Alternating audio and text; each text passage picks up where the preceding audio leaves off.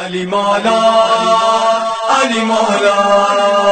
حيدر حيدر حيدر حيدر حيدر مولود کعبہ آتا حيدر حيدر حيدر حيدر حيدر حيدر حيدر حيدر حيدر حيدر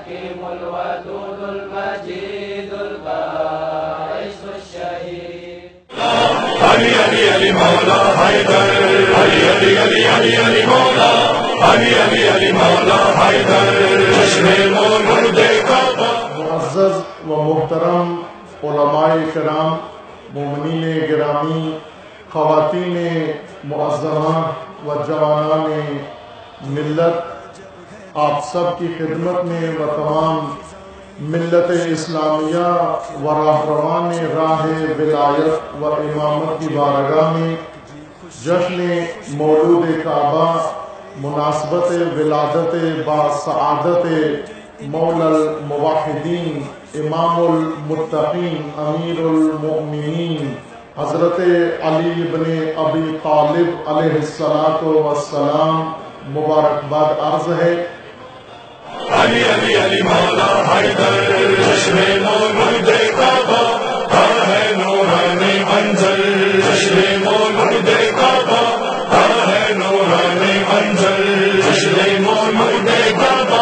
خطبہ ایسا کیسی؟ عروت الوسطی کیا ہے؟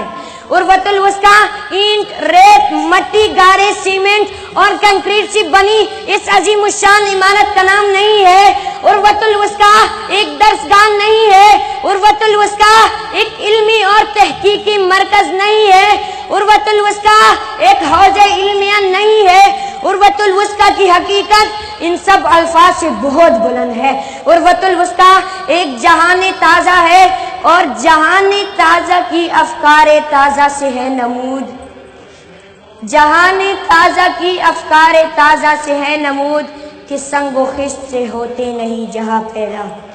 علامہ اقبال کی تشخیص ہے کہ پاکستان بر صغیر میں مسلمان کے اندر کمی فقط حیدری کردار کی کمی ہے۔ جس دن حیدری کردار اس ملت کے اندر پیدا ہوا، یہ ملت دنیا کے اوپر حکومت کرے گی۔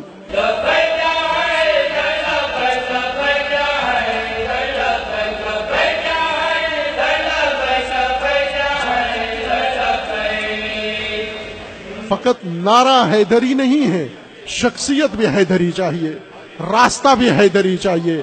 مکتب بھی حیدری چاہیے، دین بھی حیدری چاہیے، سیرت بھی حیدری چاہیے، کردار بھی حیدری چاہیے۔ میں بھی کہوں، تم بھی کہو، میں بھی کہوں، تم بھی کہو۔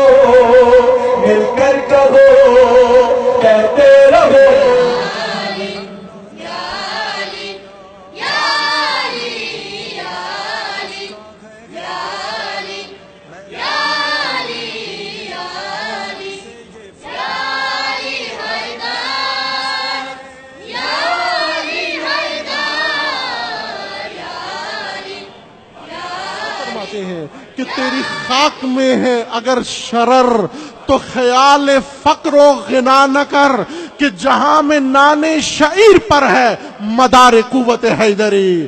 اگر تیری خاک کے اندر، تیرے وجود کے اندر غیرت کی ذرا سی چنگاری موجود ہے، ایمان کی رمک موجود ہے، خیال فقر و غنا دل سے نکال دے، چونکہ جہان میں حیدری کردار جو کی خشک روٹی سے بنا ہے۔